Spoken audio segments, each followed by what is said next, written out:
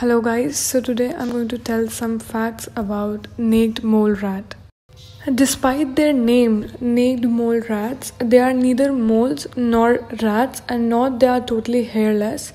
They are most closely related to porcupines and guinea pigs. Next point is that their teeth can operate independently.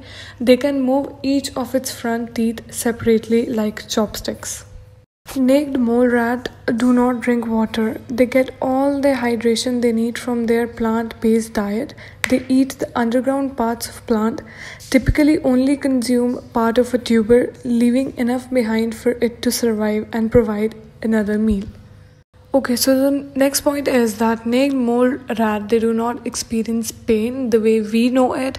The animal don't react to acid burns on their skin and they don't treat any injured area. So they have some cellular tricks that prevent their body from aging. The risk of their death is not necessarily related to age or in other words we can say that they don't necessarily have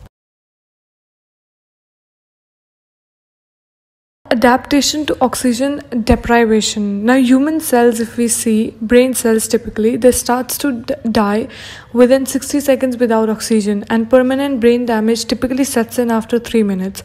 But in contrast to that naked mole rat can survive 18 minutes in an oxygen free environment without suffering any harm. When deprived of oxygen its metabolism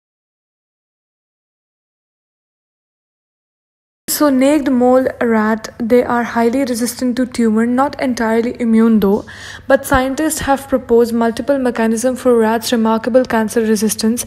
They express P16 gene that prevents cell from dividing. So that's it for today's video. I hope you liked it. If you liked it, please subscribe, like and share and I'll see you next time. Bye.